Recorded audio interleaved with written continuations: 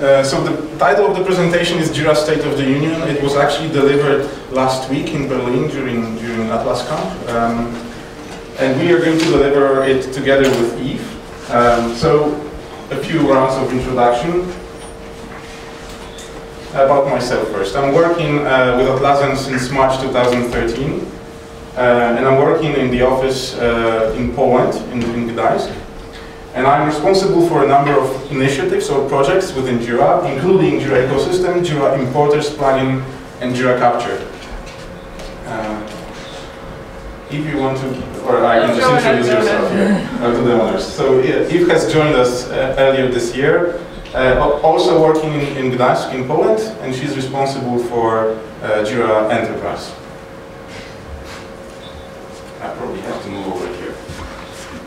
So I have four topics to discuss, or if you will, four pillars of investment within Jira, and that is software on demand, service desk, and, and Eve is going to deliver the enterprise part.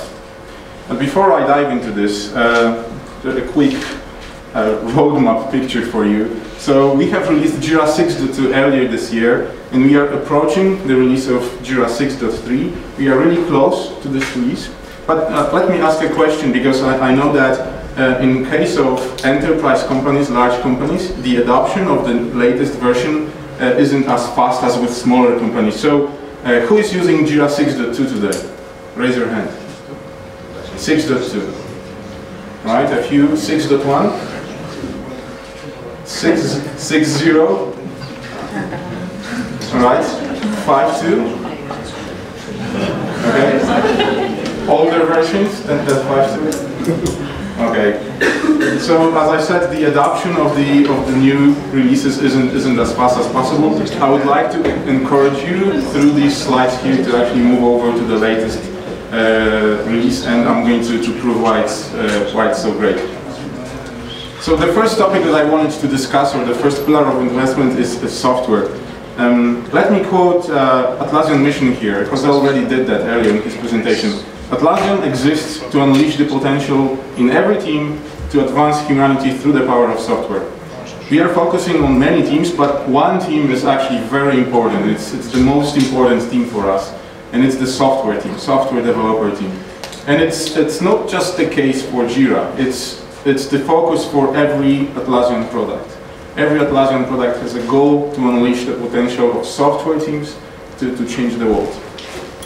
But because this is a Jira State of the Union presentation, I'm going to dive into the Jira part of that.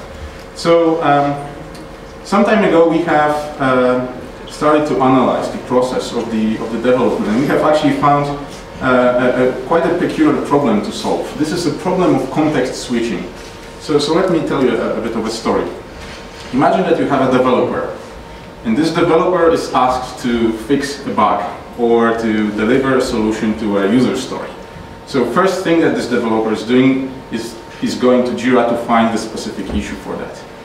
And once he knows what the issue is, he creates a, a branch, uh, he starts to, uh, he moves over to, uh, to do that, he moves over to, to Stash or Bitbucket, then he switches over to his favorite IDE, and he starts to actually develop the code, then he makes some pull requests, again, maybe change some more in the code. There, eventually, uh, the code is ready, it's been merged, potentially released and the issue is closed.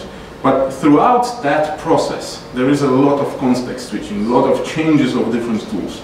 So can we make it simpler? Can we, can we simplify this process? Yes, we can. And actually, we actually started this process already. In Jira 6.2, we have released a feature that allows the developer to create a branch uh, from within the Jira issue. And not only do that, but actually also see the uh, or, and access really easily the comments and, and, the pull requests so that at least one of these steps, one of this context switching can be eliminated. He can go directly from Jira to his favorite IDE and start to develop the code. And we are not stopping there. There is another feature coming pretty soon that will allow for issue to be automatically transitioned through the workflow that is assigned to it once uh, based on the changes that happen in Bitbucket and Stash. And again, uh, depending on the workflow, this, these transitions might be really simple or it might be really complex. But the point is that the user, the developer, doesn't have to go back and forth between Jira and Stash or Bitbucket. It will happen automatically. Speaking about the statuses of the issues, um, in Jira 6.2 we have introduced this feature called status lozenges. Uh, a lozenge is uh, this rectangular shape that it describes the status of an issue and it looks great, right? And it actually looks great consistently through different pages in Jira. You will, you will see the same status lozenge in the workflow editor, in issue view page, in the issue navigator, but that's, that's no, not why we introduced it. It actually gives you additional information. So as you can see, the lozenge uh, can be displayed in different colors. And the color bears the information about the type or the category of the status in which the issue is.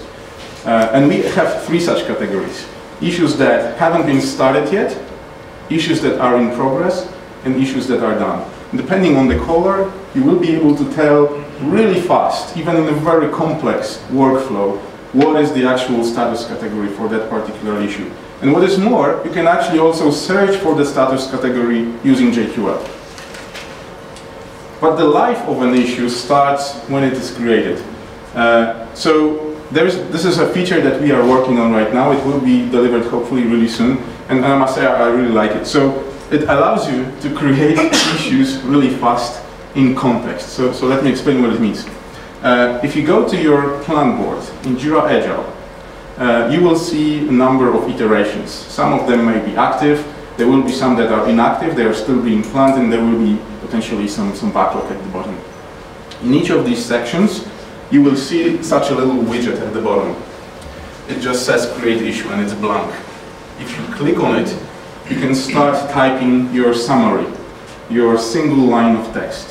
When you press enter, the issue is going to be created. Now that sounds rather simple, but that's, that's not all. Actually, the magic happens once you press the enter, because depending on the context in which the widget is displayed, the newly created issue will be injected with the values in different fields. So your uh, plan board in Agile is defined using, using some JQL. You potentially also have some quick filters. And an epic that you can select on the, on the left side in the version. So all of these contacts will be extracted and injected into the newly created issue. So with just a single line of text and single press of enter key, you have an issue that is inside the very uh, iteration or backup that you wanted it to be, with potentially dozens of field, uh, fields already pre-filled with data. The good thing about it is that it actually was created as a solution, the backend of the solution is created in Jira, and we will introduce more places with the widget. So imagine an issue view page and the subtasks. Again, you do not have to go back and forth, just single line of text and every field from the parent issue will be injected into the new one. So, so pretty, pretty awesome feature.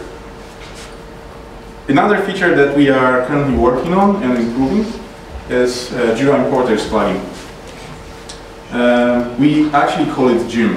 Uh, so JIM is a, is a sort of a broken acronym for Jira Importers plugin. Uh, JIM a, allows you to import data from different other third-party systems, but also from file formats directly into Jira.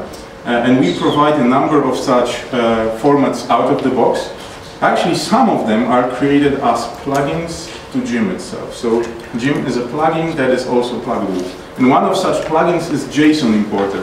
JSON is a very flexible data format uh, that, that is probably the most flexible format that is today. And we are using it to, to import data into Jira. Uh, import, a good thing for uh, you to know is that JSON importer actually comes with its sibling. Uh, we have also a JSON exporter.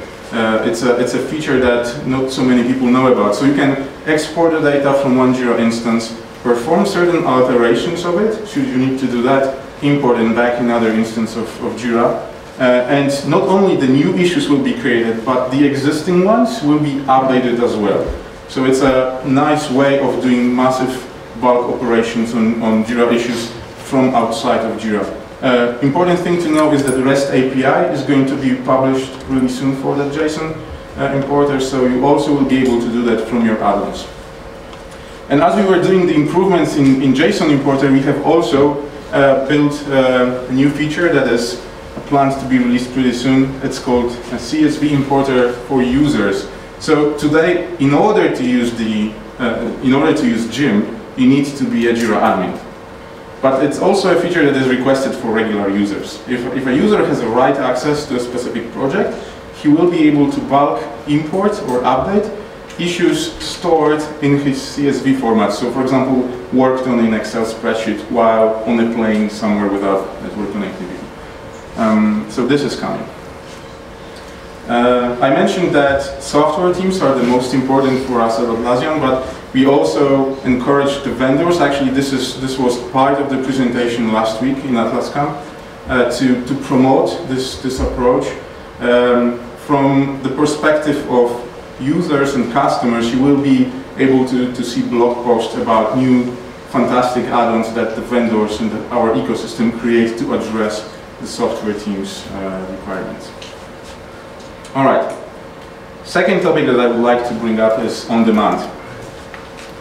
Um, why is on-demand so important for us? So this is this is a, a graph that um, pictures the uh, growth of new customers depending on the platform. I, I, have to underline this is the new customers, not the total number of customers. Total number of customers obviously grows even faster than that.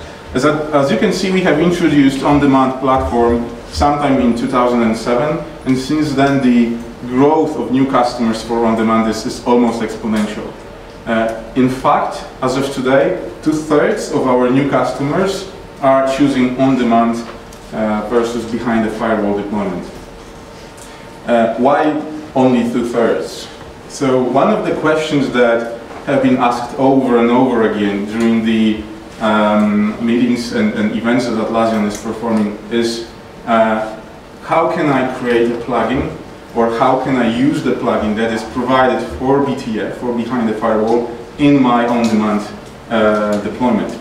And uh, we have addressed that problem. Earlier this year we have introduced our new plugin platform. It's called Atlassian Connect 1.0. And I, I, I, wanted to actually thank here uh, Deiser because you have sent uh, a couple of developers to help us build this platform. It was only thanks to the massive effort of, uh, of many vendors, especially uh, that made this release possible. Uh, two such events uh, to, to help us build the, the platform were, were held uh, later last year, one in Amsterdam and, and one in Sydney. Atlassian Connect uh, 1.0 is ready, and Today, several months after its introduction, introduction, we already have 20 plugins. It may not seem to be much as compared to the number of plugins that you can use for BTF. But the point is that we have just started, and this number is going to grow really, really fast. It's going to grow as fast and as, and as exponentially as you have seen on the other graphs. Uh, out of these 20 plug add-ons that we have, only three are created by Atlassian, and they are mostly demonstration add-ons just to show how to do that. Um, 17 were created by vendors. Some of them are commercial, some of them are free, uh, and they are all available on, on our marketplace. Let me explain how this platform works. Uh, so traditionally, uh, all the plugins created for BTF, our previous uh, platform, were created in such a way that they were run as a code within the same Java virtual machine where Jira is. And they were sharing the resources, sharing database access, sharing plenty of API points within Jira. Atlassian Connect changes this approach. Uh, in Atlassian Connect, the whole architecture is spanning across three nodes. So node, node number one is the Jira server. And this is our on-demand Jira instance running somewhere in the cloud. The second node is the server on which Atlassian Connect code is being deployed. Again, this might be some server in a cloud. This might be a server hosted within the vendor's uh, network. The point is that they have to see each other network-wise. And then the third node in that graph is the web browser of the user. So what are the building blocks that are actually, and how they are spanned across this? So the first building block of Atlassian Connect is REST API. And it's used to allow for the add-on to communicate and send notifications or uh, requests to perform certain action from the add-on to Jira. And they are also, the REST API is obviously also used by JavaScript run on the, on the browser page and also perform certain operations in Jira. Sibling of REST API uh, is, is webhooks. Uh, they are sibling because they also used, uh, are used to notify about certain events, but in this case, they look in the other direction. So uh, Jira, uh, when it uh, sees certain event, it notifies the Atlassian Connect add-on about such, uh, such events. The third building block is the GUI integration, and it works in such a way that Jira Server builds pages with certain iframes exposed to the, for the add-on. And add-on injects its own content into these iframes. Uh, from the user perspective, who is watching the whole situation from the browser, uh, this is a seamless type of integration. The user will not even know where the add-on begins and where, where the Jira page starts. And of course, there is a JavaScript that I have mentioned. And then finally, the fourth building element is called entity properties. And they allow for the add-ons to store and retrieve data within the Jira server, uh, add-on specific data that can be used to, to uh, store additional information. Let's take a look at REST API. Uh, really quickly here, I just wanted to mention that we have over 120 REST API points, uh, actually accept, uh, accepting multiple operations, so uh, you know, put, get, deletes, and so on. If, so if you multiply it by the operations, this number is much, much higher. We also have an older SOAP API that is deprecated, and it's not supported within Atlassian Connect, so uh, that's probably installation more for for the vendors rather than, than customers. Uh, we are migrating SOAP API onto REST. We are around 80% advanced in this effort. When it comes to GUI integration, this is the this is the interesting part. We have 12 different points, uh, different points within the Jira GUI where uh, such an integration can happen, starting from uh, web panels through generic pages ending on dialogue. So it's, it's possible to create most of the, uh, or recreate most of the GUI integrations of uh, mm, our older uh, platform, the P2 platform um, in, in Atlassian Connect.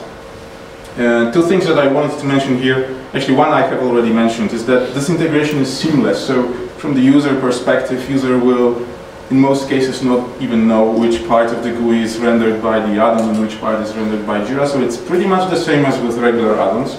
The second thing is that uh, these iframes are context aware. So uh, let me give you an example.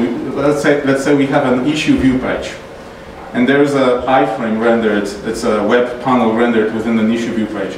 Not only add-on will know about the fact that it's rendered within issue view page, it will know about the actual issue for which it was rendered. So it can react accordingly to the context in which, in which the GUI integration happens. Finally, the, the, the, third element, the, sorry, the fourth element is entity properties. And as I mentioned, they allow you to, they allow the add-ons to store additional data against issues, projects, and actually comments uh, which are which are not mentioned here, and also to retrieve it. Uh, but the point is that it also, in case of issue properties, it is also possible to use JQL to, to search for the existence and actually retrieve that data. I know this may be a bit of an abstract concept, so let me give you some examples where this can be used. So for instance, an add-on can store map coordinates next to Jira issue and then render such a map within one of the iframes using the coordinates retrieved from issue properties. Or it can store private or public to-do lists, or labels, or store some form of synchronization status with other third-party systems, or versions, store versions of issues. Actually, it's only the imagination that sort of stops me from, you know, building this list really long. Uh, last week, during Atlas Camp, one of our uh, employees have created a, an add-on for Atlassian Connect that integrates Jira with any.do. Uh, do you know what any.do is? Does anyone is anyone using this? Yeah. So so just for, for those who do not know, this is a um, cloud-based system that allows you to create really fast to-do list, and it, you can access this to-do list from the web page or from your mobile phone or from a, a desktop uh, mm, software.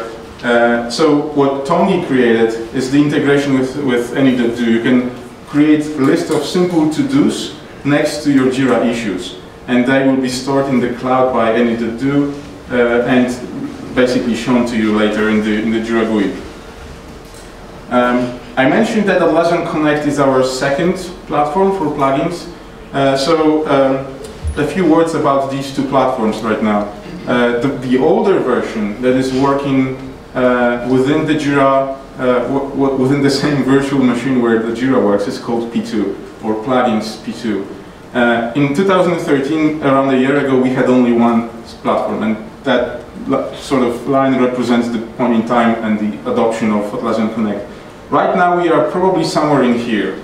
So Atlassian Connect covers some of the areas that, can, that were covered with P2, not all of them.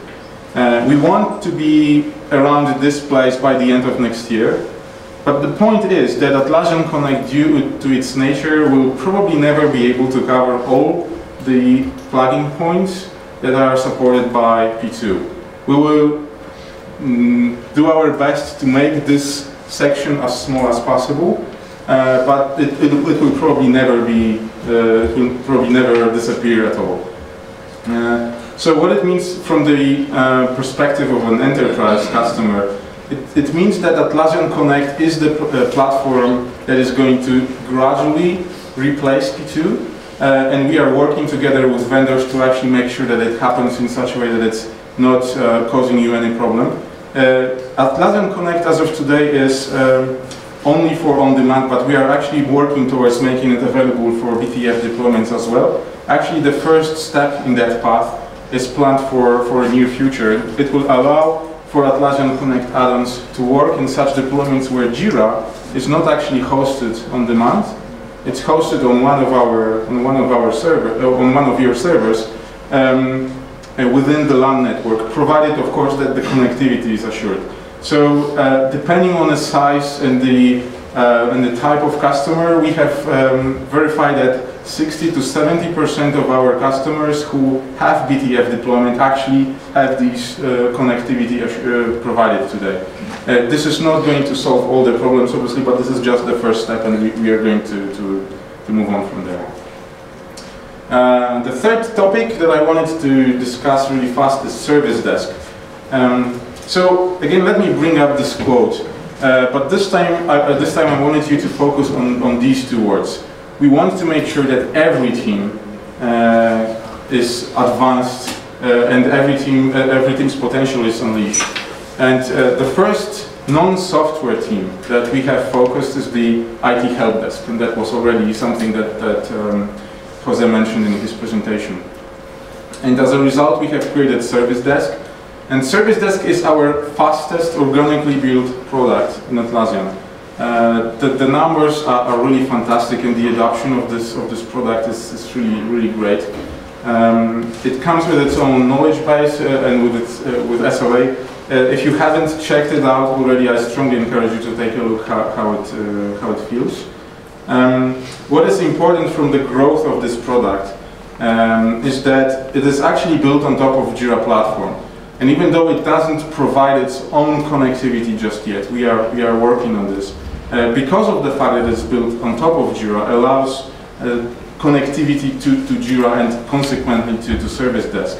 And that means that integrations with all types of systems uh, currently not natively covered by Jira is possible, starting from asset management through customer relationship management tools, network monitoring or management, social media interaction, telephony, sky's the limit.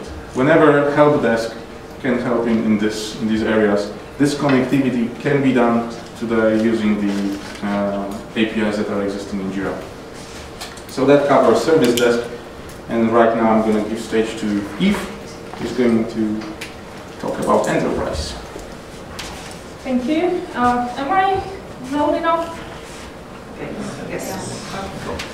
Um, it's not a secret, actually it's pretty obvious for all of you that uh, the needs of large organizations are slightly different than those of small teams, and at Atlassian we're aware of that.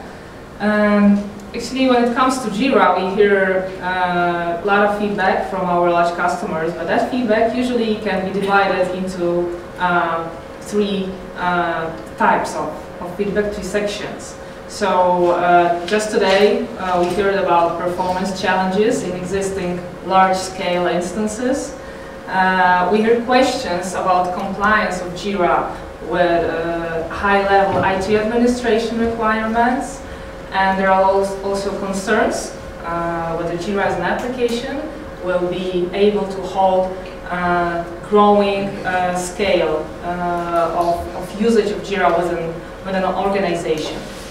Uh, so in order to address those issues, uh, Atlassian decided to invest in development of a new high-end solution for, for Jira deployment, which is going to be Jira Data Center offering.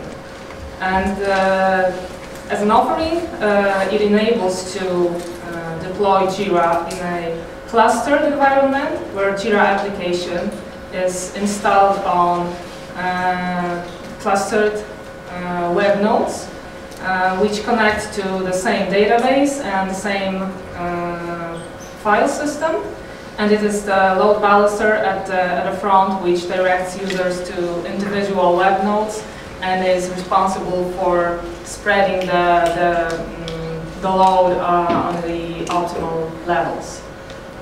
And that kind of uh, deployment allows to address those uh, most important needs, which are high availability and scalability of the solution, while also providing uh, higher performance of the application as such. Mm, and uh, the, one of the important features uh, of this offering is that it is only the case of the backend uh, implementation of the, of the, the, deployment of the instance. So for the end users, this is still the same uh, good Jira that they know and they love. So there is no change in the, in the application features. So it's only the, the, the type of the deployment style. And the uh, next thing important for you might be that uh, when I'm talking about Jira specifically here, uh, that pattern will be followed by uh, Confluence Data Center and Stash Data Center offerings. Uh, so it will be consistent among our, uh, our applications. Um, okay. Uh, to make sure that the solution uh, works according to our expectations and that it actually provides the features that we promise uh, it will give, uh, we started using clustered Jira on our largest Jira implementation available for customers, which is JiraAtlassian.com. We are using that one since March and there were no serious problems with that. It's, it's running uh, pretty well, but this is not all. Uh, we actually encouraged a couple of our uh, enterprise customers uh, who were brave enough to try on this, this very new uh, solution uh, on, on their own premises. so we launched the Pioneer, Pioneer program, uh, where 10 uh, enterprise customers decided to uh, run first a, a cold test, so just to, to test the capabilities of, of clustered Jira version on some test environment. that is uh, already going to, to, to, the end and uh, the customers are successfully migrating to the, to the production with, with that kind of uh, deployment environment. And uh, I, am aware that uh, you may have already some doubts that uh, that kind of migration must be a huge effort for a company to migrate from a single server instance into a clustered environment. Uh, we were also afraid of that. We had a lot of concerns, but it turned out that uh, that migration is not that scary and uh, uh, we even had an example of one of those pioneer customers was able to migrate into data center from single server within a single day. And uh, those instances are also running without any major uh, problems, not to mention any blockers. Of course, uh, these pioneer customers are reporting some issues to us, but that was actually the, the, the aim of, of this pioneer program to spot any even the smallest uh, problems of, of that kind of solution as, uh, as fast as possible so that when we launch it, we are sure that it, it, it works perfectly fine. Uh, so I already said that for the end users, the Jira Data Center will be no different from a single server Jira application. Uh, Uh, however, the plugins uh, need to be adjusted to the different uh, deployment environment. And uh, Atlassian provided guidelines and instructions for vendors uh, who would like to uh, make sure that their plugins uh, are compatible with a clustered environment. And these guidelines are already available. And once vendor uh, mends the plugin and make sure that it, it, it works fine uh, in this new uh, in this new version of, of deployment, uh, they can label uh, their plugin uh, in our marketplace with this data center label so that actual users, uh, customers and, and administrators are sure that they can use this very plugin in a clustered environment. So as you see, uh, the solution as such, technically speaking, is almost ready. We are at the latest stages of uh, testing and, and finishing touches. Uh, so this is true, this is existing. It's not a science fiction I'm talking about. However, the uh, pricing and launch date are still to be established. Uh, so I'm not, I'm not able to give any more details in, in this matter but uh, this is something to, to, that is going to happen in a, in a very near future once we just complete this, these data arrangements.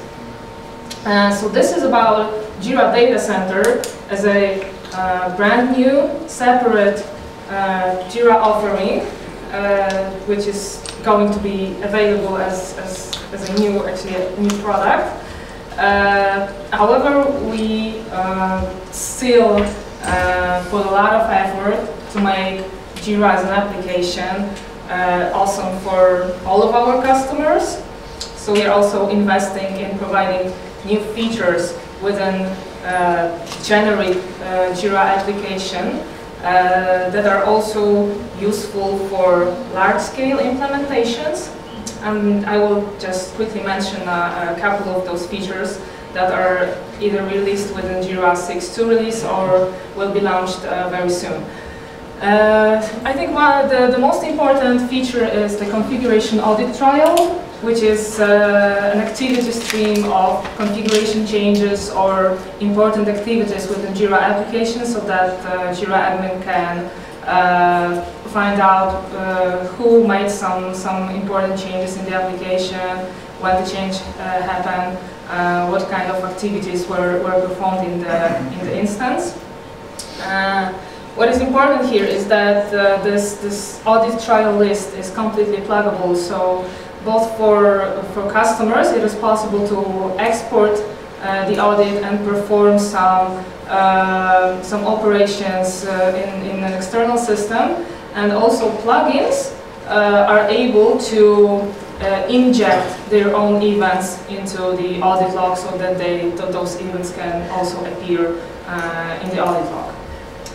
Uh, some other small features uh, useful in, in large-scale instances uh, is the issue creator field, which is a, a new field uh, that enables to separate a person who creates manually the issue from the person who initiated the, the, the, creation because in, in some cases someone who asked to to uh, to have it, the, the, the issue uh, put into into Jira is, uh, it is a different person than the one who actually uh, puts it in, in, the application.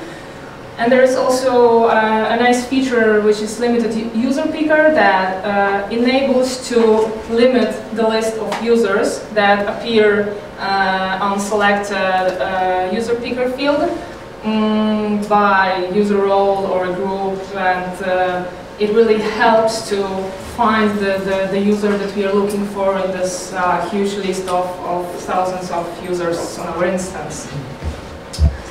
And uh, the last small one, which is still under construction and is going to be released uh, soon, is the bulk edit of multi-select fields uh, that will provide more options uh, for uh, bulk uh, operations like replacing the values, removing or, or adding the values and I'm sure it will it will help to, to perform bulk operations uh, in in the big uh, instances of Jira. And uh, just to uh, repeat, uh, those four features that I just mentioned, they are not specific for the Jira Data Center offering. These are the, the features that are, uh, are or will be available uh, in the normal Jira app, so they, are, they will be uh, also in on-demand and in classic single server uh, implementations. So this is all from the enterprise part. Uh, I'll let Bartek finish this off. Okay, so you have seen tons of investments that we are making into Jira. I hope uh, this gave you enough of the information to actually move over to newer releases. Uh, that it, it is providing you the driver to, to upgrade. Uh, there are tons of opportunities regardless of, of the actual investment pillar, investment area that we're making. Um, that concludes our quick presentations. Uh, are there any questions?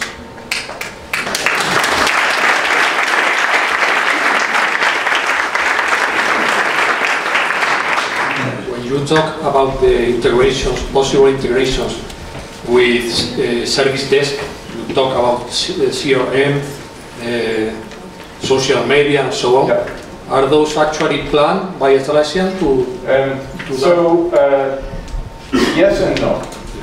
Uh, in case of asset management, this is actually something that Atlassian has on its radar. Uh, we do not have any solid plans yet. I cannot give you any dates or anything beyond the fact that this is an area that we would like to explore a bit more. Uh, but this is the only area from, from at least this list that, that I have provided uh, that, that we have on our radar. So uh, uh, customer relation management, uh, social media, telephony, what was the fifth one? I, I've forgotten already. In, in the other areas, it's, it's pretty safe to, to explore it, yes. ¿Más preguntas? Recordar que algunas de las cosas que han estado comentando son soluciones que se van a ir incorporando en próximas fechas que van a enriquecer la oferta que hay actualmente, es decir, eh, estructura actual no, no- no cambia desde el punto de vista de lo que ya hay, pero sí se van a incluir estas nuevas posibilidades en forma de data center con eh, algunos de estos elementos que se han ido comentando durante la presentación. ¿Preguntas? ¿No? Pues cerramos por aquí la charla. Muchas gracias. Thank you. Gracias.